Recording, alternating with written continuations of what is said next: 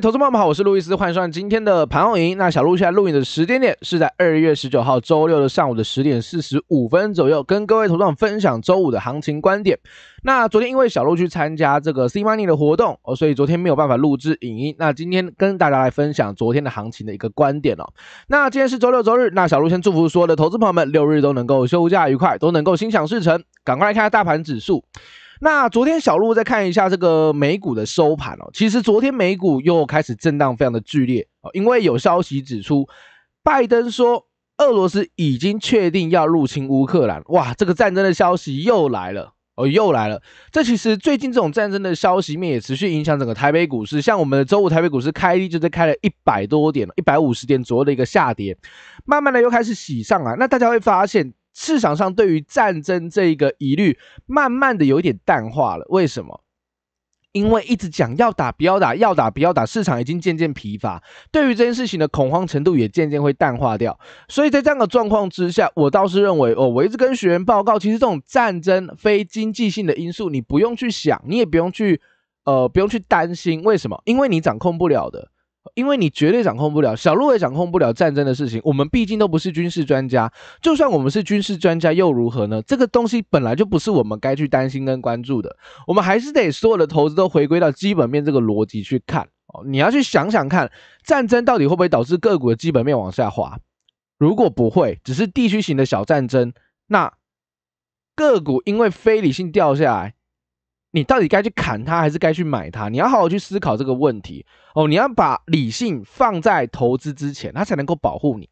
那指数开低之后一路往上拉，当然这个地方，因为各位我说过台股这个地方，你真的要看空是很很辛苦的，因为台股非常好的本益比嘛，不高嘛，十五倍而已，非常高的值利率，在这样的状况之下，你去看台北股市，你很容易杀在低点。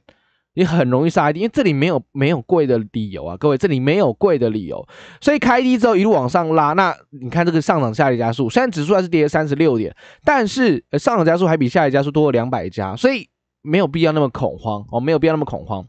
那涨幅最强的是航运，哇，航运不论是这个散装或者是货柜，今天的表现都非常的不错哦。那其余第二强势的是在生技，再是电子零五件，涨幅就没那么大了，有没有？今天族群全部都围绕在这个航运族群当中，为什么？他们是基本面非常好的一个族群，位阶也相对低，所以你会发现位阶高的股票市场上不一定愿意买单哦。位阶高的，因为现在可能要升息循环要开始了，甚至激进一点还会有缩表的疑虑，所以又高通膨。那在这样的状况之下，那类所谓的高估值、高本益比的科技股本来压力就比较庞大，那比较没有疑虑的位阶比较低的，不就是航运族群吗？对吧？这比较低位接，比较安全，不用追高。所以今年度的投资，我跟各位投资朋友们讲，我也跟所有的学员讲，今年你要重安全，今年你要重视安全这件事，你不要整天冲来冲去，动能交易冲来冲去。今年度不一定会好做哦。今年度因为今年的升息的这个状况真的会出现，那资金真的会被抽走，所以今年度的投资，请你手中稳健，一定要手中稳健。不然你的风险会超大哦，风险会超大。我这一直跟一再提醒大家，所以不要做太过激进的操作，我不要追高哦。所以市场资金就往涌向这种比较不追高的族群。OK，那跌幅最凶的是在电子半导体这个部分。为什么台电跌嘛？我台电跌，那台电属于什么？台电在美股挂牌那个 ADR，它本身就是美股的科技股之一，所以纳斯达克只要掉下来，台积电就掉下来，台电掉下来，台股就会跟着一起。掉下来，逻辑大概长这样子，所以它多少有点受到台电控盘，所以台电你会发现台电好像拉了一波之后就就很久都没有强势了，原因是因为美国的科技股不强啊，美国科技股不强，没有一个带头的领头羊，它本来就很难动，我本来就很难动。那这个指数我跟大家报告过，这个地方是不是容易打第二只脚？有没有？我是不是跟大家报告拉上来之后拉回，这里很有可能是第二只脚，所以你千万不要去什么看空、悲观、杀低都不需要。OK，慢慢弹了起来。目前在这边做横盘震荡，站在所有均线之上，所以这个震荡偏多格局，长线当然是多头格局。所以我跟大家报告，台北股市你千万不要看空的逻辑就是它没有理由看空啊，好不好？你一定要做多，而且手中一定要多单，手中一定要多单。好，加权指数看起来没什么太大问题，因为台电只要不挂点，加权指数怎么会挂点？问题一直都在 OTC，我讲过很多次。问题不是在加权了，OTC 间开低之后一路往上拉，现在涨了零点五个百分点。中型股票礼拜五是比较强势的，上下一家数明显多了一百家。那从这个呃族群性来看，哦，一样航运很强嘛，航运最强。OK，那再来就是观光跟钢铁，钢铁也是位阶低、基本面非常好的一个族群。所以在这样的状况下，你会发现资金真的慢慢涌进这些族群性了，反而是之前可比较呃高位阶的科技股、高位阶的电子股哦，或者是一些比较没有赚钱的投机股票，压力就会比较庞大，哦，压力就会比较庞大一些。所以我跟大家报告是，今年你真的要注意那五大族群，我讲过很多次了，对不对？原物料。基础建设、民生必须、金融跟什么高值利率这五大族群，你要你一定要从今年的头关注到今年的尾，你会发现这几个族群非常的稳健，而且是在今年度有机会在升息循环当中打败大盘指数的。你去看历史哦，你看历史，这五大族群基本上都是在升息循环、高通膨的阶段打败大盘的几个族群，所以今年度特别提醒大家留意。好，贵买指数，我跟大家报告什么？我跟大家报告的是，各位现在贵买的基期是高还低？哎啊，在半年线附近是基期会高吗？当然不会高嘛。所以基期在低的状况之下，我是不是说最近在挑战乌二战争疑云的缺口二二一点一四？今天收二二一点一七，小幅度站上。虽然量能只有五百亿哦，非常非常少哦，非常非常少，没有人要交易啊。所以在这样的状况之下，情绪是不是低迷的？各位，OTC 的情绪是很低迷的。啊，低迷低迷低迷才有好买点啊！各位，行情如果很热络，你又要追高了啊！行情现在低迷，你还不赶快买，不是吗？对吧？所以这个位置，我跟大家报告，你一定要持有多单，因为后续 OTC 开始拉，你手中股票就会开始赚钱，而且现在的风险不大，因为在半年线而已。现在在半年线的位置，所以半年线位置你一定要进场去布局，设好你的停损，你就可以进场，就这么简单。好，就这么简单。所以我们的策略交易是不是一直跟大家报告，我们持有多单嘛？我们是不是持有多单？就是这么简单哦，就这么简单。因为你要看懂这整个大盘的局势，基本面没问题。对吧？殖利率又又高，有机会抗通膨。最后，我们来关注一个叫台币。各位，台币往上走，哎，台币往上走要贬值，往下走要升值嘛？各位，这升值的态势有改变吗？最近有小幅度回贬，因为美元转强，但是整体的格局没有改变啊，整体格局没有改变啊，还是一个升值态势。所以我自己的观点是这样子，我自己的观点是战争导致了盘势过度的震荡，但是好的基本面的个股不可能被埋没，我绝对不会被埋没，只是你要给它时间发酵。像 OTC 目前就在沉淀，沉淀完了，我认为就会上去，哦，我认为就会上去，因为其实 OTC 还是有非常多呃低本一比高值利率的好股票，那位阶现在又相对低，就是你的投资机会，哦，就是你的投资机会，你不要等涨上去了你才相信，哇，真的会涨了，开始追高，那又回到又回到最高杀低了，永远又要回到这个回圈当中，不需要。好不好？不需要，我认为这是不智的做法，我不智的做法啊，这是我的观点，当然不一定对，我当然不一定对，只是我就是这么看的，好不好？我就是这么看的。好，再看筹码部分，外资连三买，在周五买了六十四点七亿，投信继续不离不弃买了十一点九亿，内资基本上这一个月以来是全面性的买超。那在期货空单的部分呢，大概是一万七千两百零九口，其实也不多啦，两万口以下而已，没有什么太高的警戒水位。融资开始回流，增加了二十二点六亿。融券也在增啊，八万库的部分又继续做一个小买，所以整体来说内资很积极在做多，外资现在回笼，所以这指数就是往上看啊。p o k e ratio 一点二八，中性偏多来看，所以整体的筹码数据来看，其实还算是相对中呃相对中性偏多的，所以筹码没问题，基本面没问题，指数方面也在长期均线附近，或者是目前加权指数已经要转强，所以台北股市你还是要做多，就算下周一因为战争的疑云开低了，洗一洗你还是要往上看。好不好？你洗一洗，你还是要往上看，这是我的观点哦，这是我的观点。那我一直跟大家讲说，各位，你做的是个个股嘛，你做的不只是指数嘛，所以个股当然会不会受到指数影响？肯定的啦，哦，肯定的啦。那除了这个之外，你还要关注什么？来，你还要关注的东西叫架构。来，小路调整画面让大家看。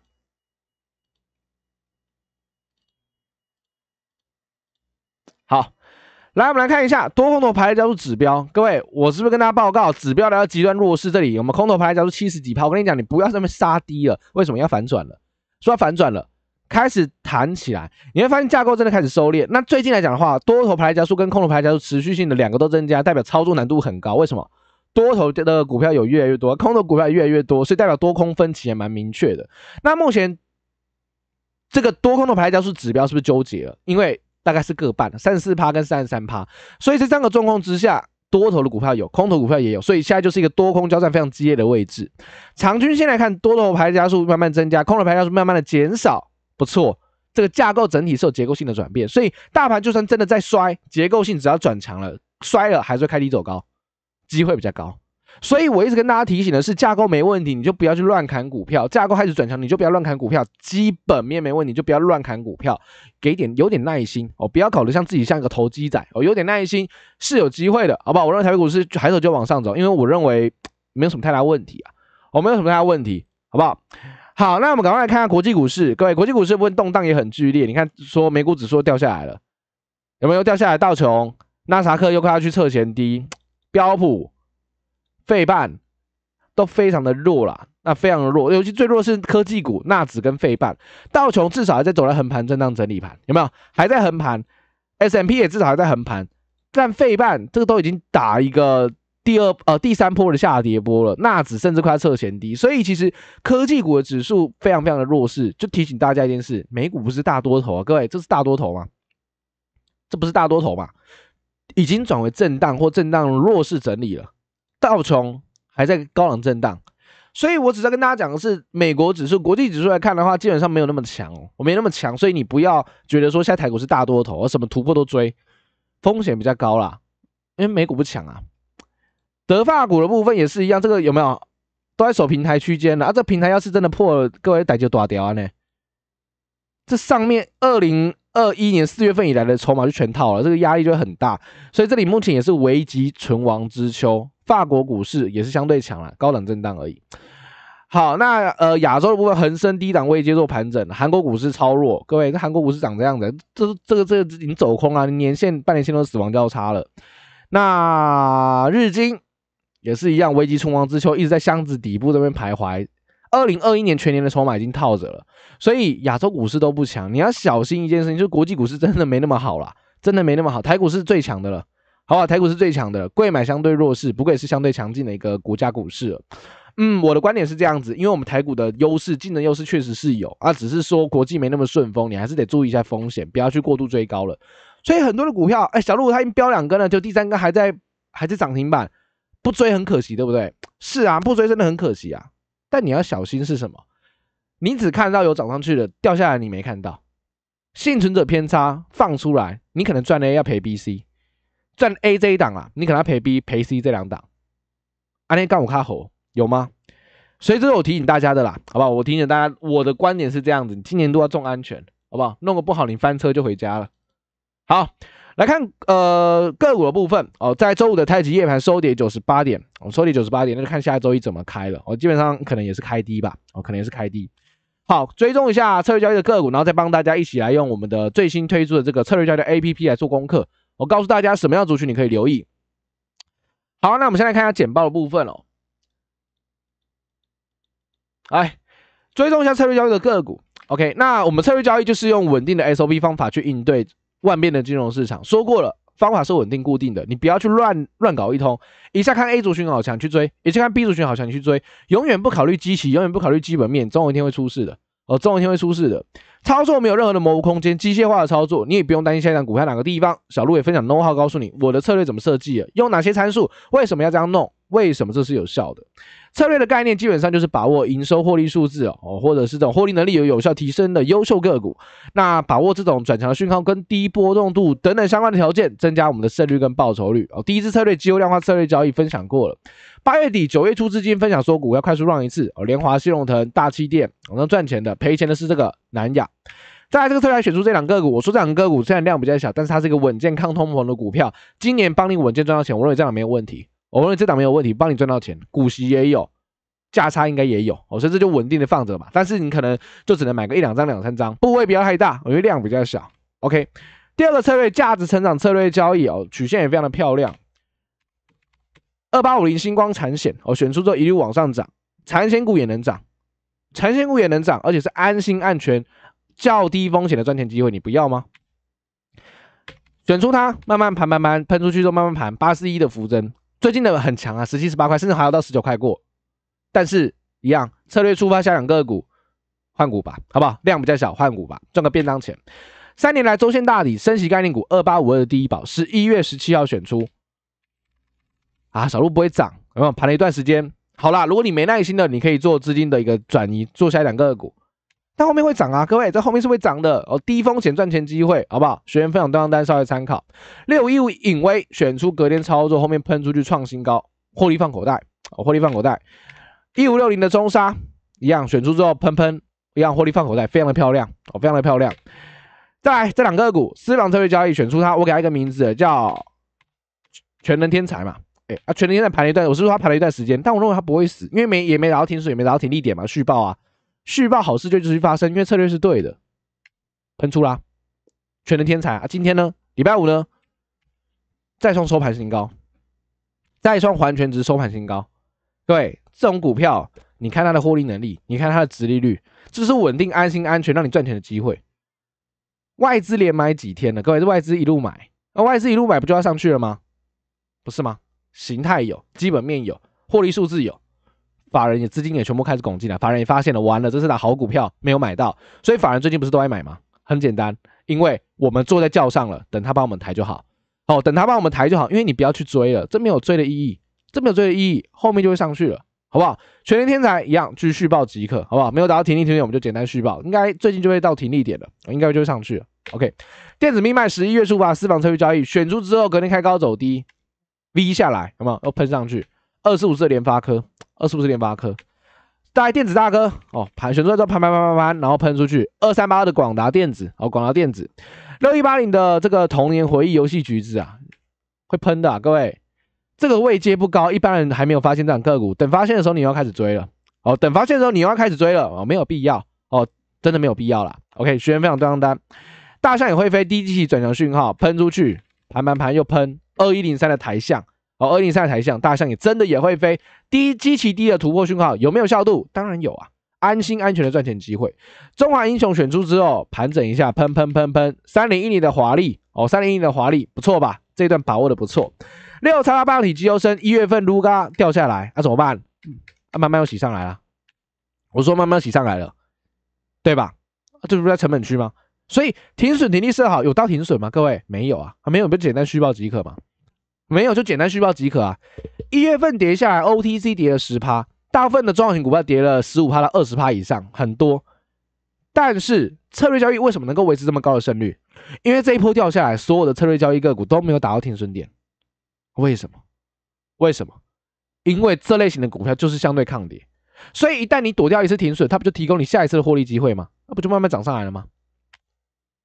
电源机优生掉下来，对不对？哎，又跳起来了。有没有？又跳起来了，又跳起来了。所以跟你讲，不用担心，因为他们都有非常好的基本面保护。所以为什么我们的策略很强调基本面？因为有基本面就是一个重要保护伞。停损停利是好，市场会给你答案，对吧？这也快要回到成本区成本附近啦。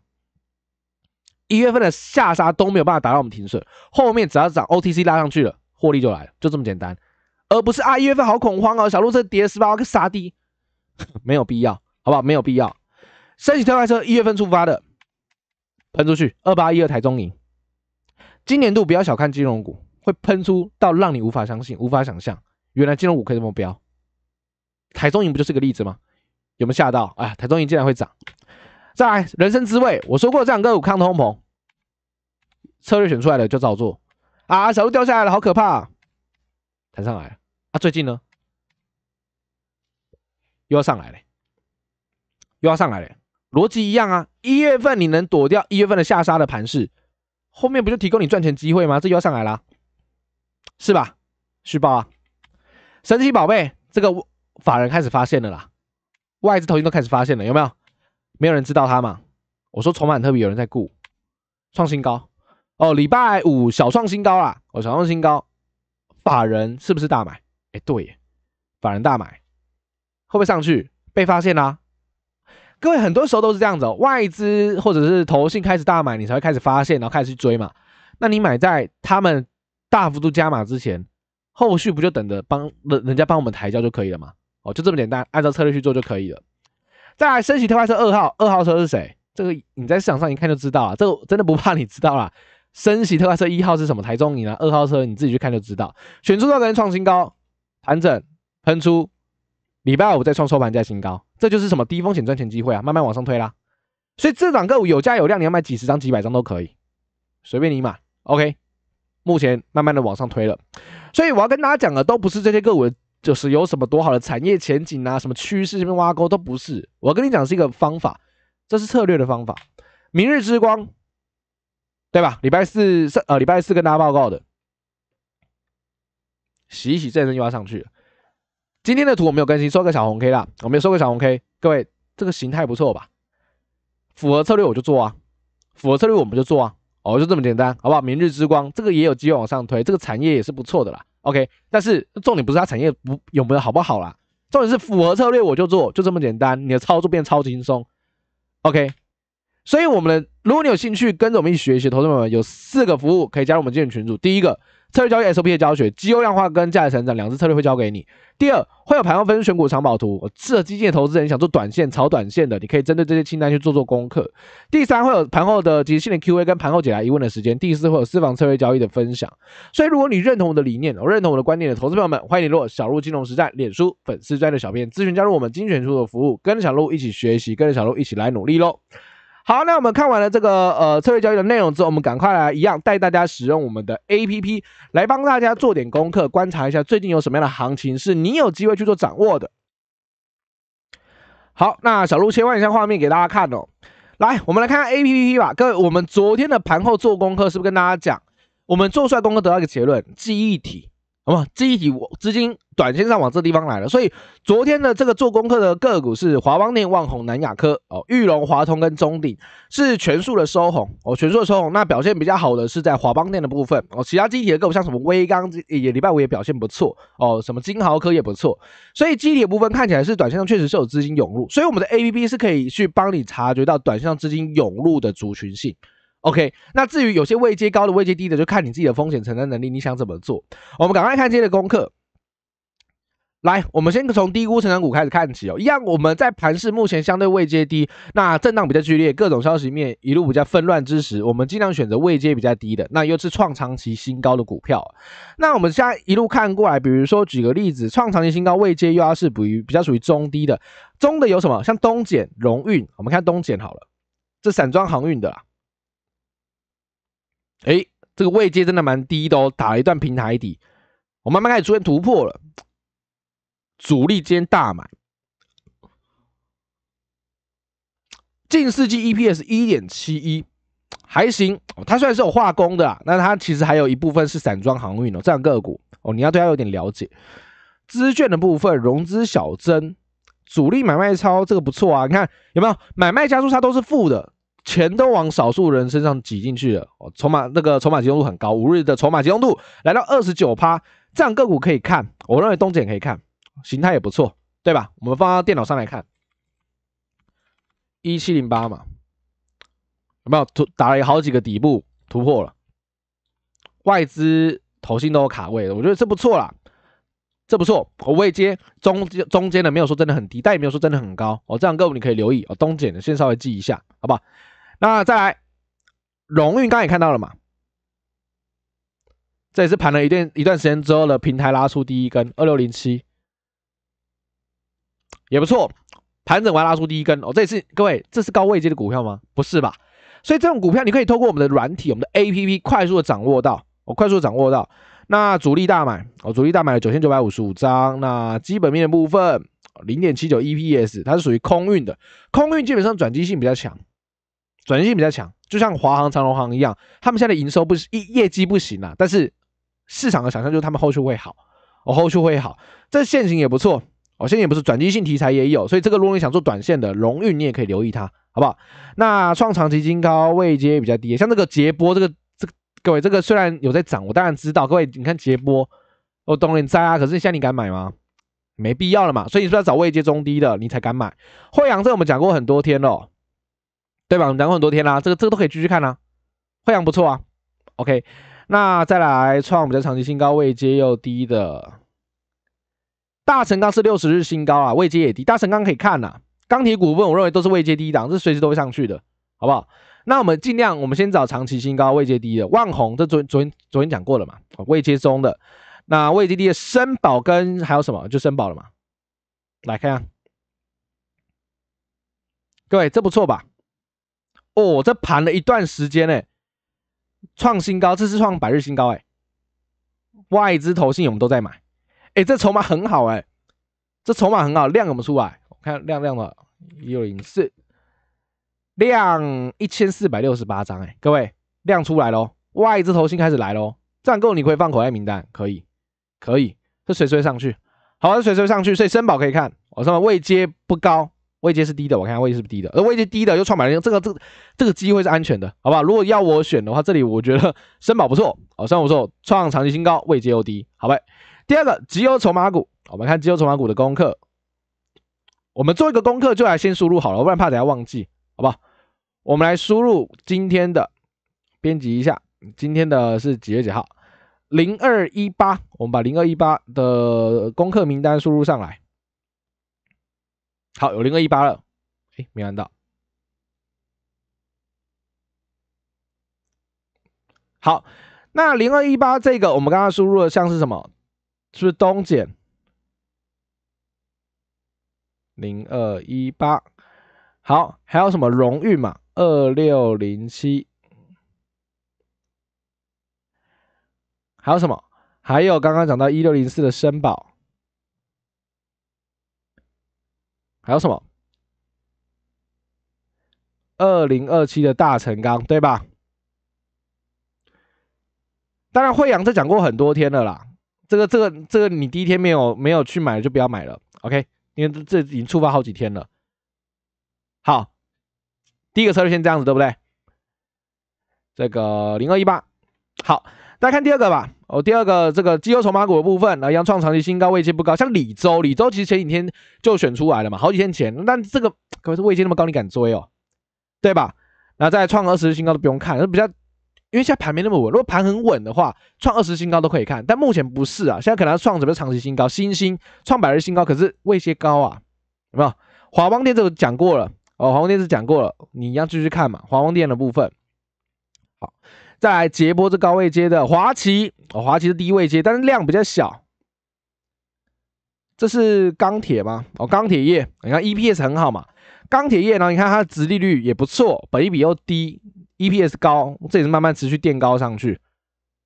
我慢慢垫高上去，今天有出量，这也不错啦。华旗可以看，好不好？华旗，然后惠阳讲过了，玉龙这也讲过了，好不好？上期这也是最近讲过的股票。哦，之前讲过股票，我们尽量就不讲之前讲过的股票了，好不好？你可以做功课，因为这都是未接低，我们尽量以今天第一天选出来的好了，不然怕股量股票数量太多。哦，所以我们稍微修正一下。惠阳这个之前讲过了，好吗？我们就先删掉，把今天新入榜的把它拉进来。好，再我们再来看，呃，应该没有了吧？对吧？这个讲过创百日新高的。OK，华邦这是之前讲过的东西，华旗好，华旗加入一下，我没讲过的。五零一五。好的，再来天罗地网，天罗地网今天选出股票蛮多的。OK，我们一样就先锁定什么突破长期新高，然后呢基期低的哦，不要涨到天上的。东简刚刚看了，然后带领这个好几天前都选出来了，未接中，但是这好几天选出来我们就不看了，之前都选过了。细微看一下，哦，这也不错哦。底部再打出来的外资连买哦，然后主力也有在买哦，基本面部分也还行哦。这个 IC 的上游哦，IC 的上游占购也可以看，毛利好高哦，毛利八十趴哎。买卖交叉，你看筹码超集中，有没有？买卖交全部都是负的，哦，这个这筹码很好哎。这个可以看哦。如果你想要更快的加入自选股的话，右上角有个小加号，点一下加零二一八就好了，好不好？就这样，细微可以看。再来还有吗？呃。华邦那个看过了，统一时哦，统一时这把没败呢，哎，这线型好，安全的股票不追高，各位你不要追高啦，不追高这个都好好好用，这 A P P 很好用。投信外资，我看主力有没有在买，有哎，连三买，买卖交叉连三天负的，筹码是真的有开始集中起来，我筹码集中度有拉起来。E P S 近视器零点九，本益比也不高，本益比不高，那它是做船产的，做那个吧。呃，瓶瓶罐罐，我平时说瓶瓶罐罐的，我没记错的话，然后一样加进来。好，再来统一石，然后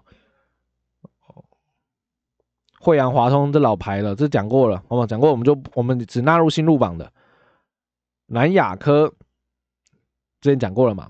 中鼎这也是讲过了，老老我们讲过好几天了，好不好？这是慢慢推的好股票。开发金、玉龙这也讲过了股票。宏观店我说过这个并并购题材不用看它，所以真正新入榜之前旧入榜大家都还可以看，按照纪律去操作。那新入榜的股票来讲的话，大概就这几档，好不好？东碱、荣运、申宝、大成钢、华旗、细维跟统一时。那我们一起用电脑快速帮大家 run 过一次。好，来看一下吧。第一个一七零八东碱，东碱不错啊，各位有没有盘完长期的底部之后开始出现明显突破讯号？那其实所有的散装，你看所有的散装，散装的筹码像是惠阳，我觉得筹码很好。我们是不是选出来之后跟大家报告了，对吧？是不是这天选出来？二月十就选出来啦，这超强的股票啊！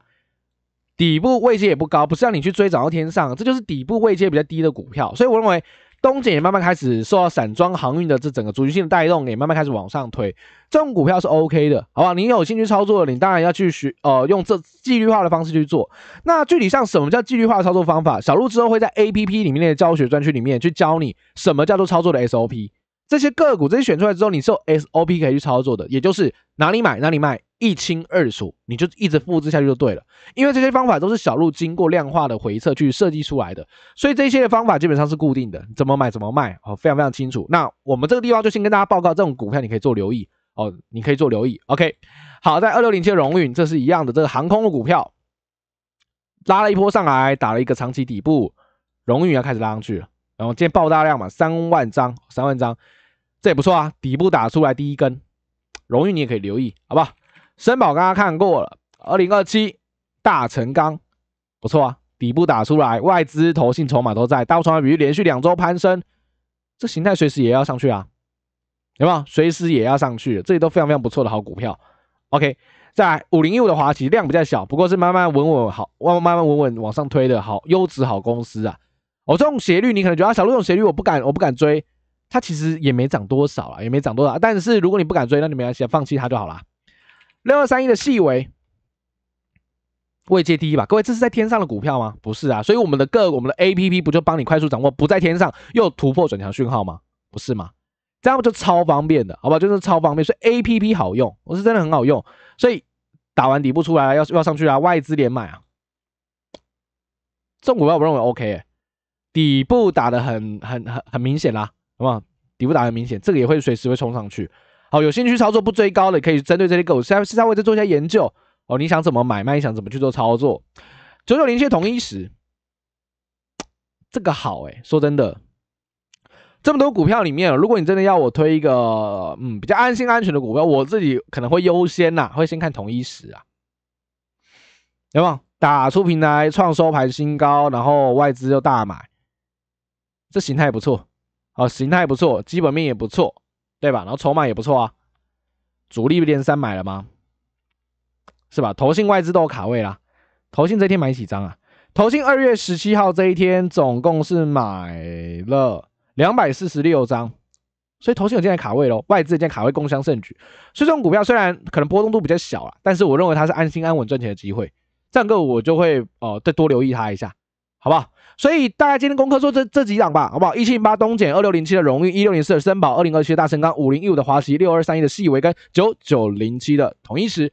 OK，这是我们今天做功课的标的物。所以如果在下一周的投资或近期投资，你想去做操作的话，你可以多加留意呃这一档股票，哦，多留意这档股票就可以了。OK，好，那我们来回答一下学员的问题哦。我们学员问题啊，学员问题大概只有呃两个，哦，一个是问小鹿。一个是问小鹿说，呃，至上的贾特是不是啊？至上甲特值不值得去做申购？你要去申购特别股，基本上你要去研究一件事情啊，这件个股本身原先的这个。公司它的获利能力好不好，稳不稳定，配息大不大方？像至上是属于电子通路这个族群的呃共同特色就是高 EPS 跟配息大方，所以其实以这样的角度来看，至上去年全年应该可以赚到九九块钱左右，九到十块钱，所以本一比低，然后配息又超级无敌大方的，大家可以配四块九，直率现在连这个原先的股票都有大概九趴，所以在这样的状况之下，它的特别股你是可以留意的，因为。公司本就老牌又稳定，那它的特别股是呃，直利率四点五趴的利息哦，四点五趴，我没记错的话，我看一下哦，应该四点五趴吧？对啊，四点五趴的利息，那就是配给你每年四点五趴，每年四点五趴。那其实呃，它是属于非累进型的特别股啦，也就是如果它今年特别股发不出股利的状况，它明年也不会补发给你。但是这种公司发生的几率比较小，因为它本身就是个老牌稳定的公司，不太可能特别股发不出股息来哦，除非公司的本质本身就很烂了，所以才有可能发不出特别股的股息。因为特别股一定会优先处理，特别股的概念比较偏向于债，所以它会优先处理特别股的问题。所以特别股是相对普通股也绝对是安全的。OK，所以基本上呢，它不太可能发生这种事情，我认为是安全。那再加上它目前的配息、配股、获利能力都很好，所以我认为它风险真的不大，可以去申购。我可以去申购它，好不好？再来有询问到九九四一的玉龙，这我们做功课是不是跟大家讲到？我说这种个股，你去看所有的这个汽车融资的龙头六五九二的和润，你没发现和润这么强，对吧？汽车融资的嘛，五八七一中珠，哎，大盘在跌的那一段好像跟他们没什么关系，你有没有发现？因为这类型的股票就是什么隐藏的受惠升息的股票，一般人不知道。一般人以为啊，升息的就是银行股，其实还有个隐藏冠军，就是这个，好不好？汽车放贷。那汽车融资来讲的话，基本上呃，以一月份的呃玉龙来看，一月份营收历史新高嘛，Y Y 十一个百分点，那机器已高，还能成长十一个 percent，非常的好。那公司字节去年的 EPS 是十四块九一，获利也非常好，创历史新高。那同时它的配息率大概都有七十趴以上，你按下计算机，殖利率现在大家都五趴以上哦，其实也不错。那展望在今年，我自己认为是因为呃升息开始了，它的利差会放大，利差放大状况之下，玉龙的获利数字就会更上去，更上去配息就会配更多，那殖利率就会更高，吸引资金买盘往上拱。所以这种呃这种个股，我认为你想做长线对不对？我认为长线可以做，我认为长线可以做。好不好？长线这是可以做的股票，但是分批买，好分批买。如果你想做长的，OK，所以这个就分批买吧。你规划一下，比如说刚创新高，小买一个部位，掉下来月季线再买个部位，掉下来季线、半年线再买一个部位啊，基本上你就完成你的布局了啊。基本上这种个股没什么风险啊，长期放着吧。我先放零股利，应该都没什么太大问题，好不好？今年度你要多注意一个逻辑，就是零股利后续赚价差这个逻辑，你才能安心安稳赚钱。今年度你不要想着哦，我整天冲来冲去，冲来冲去，那风险很高。好，风险很高哦。今年度你一定要特别特别小心这个重点。OK，那不知道该怎么去规划选股的，我不知道该怎么去做操作的，你可以加入我们券群组，跟着小鹿一起学习两支策略。你也可以留意一下我们的 APP，随时要呃三月份哦，三月初要有一个发售的预购计划。我欢迎大家跟着小鹿一起学习，跟着小鹿一起来努力。OK。好，那我今天影片内容就跟各位同学服务到这地方哦。那也想邀请大家，如果你认同我的理念、认同我的观点的投资朋友们，欢迎联络小鹿金融时代脸书粉丝专的小编咨询，加入精选群组的服务。那如果你觉得今天影片内容有帮助到你的话，再帮小鹿按赞、订阅、分享、开启你的小铃铛。我是小鹿，我们下周一见喽，拜拜。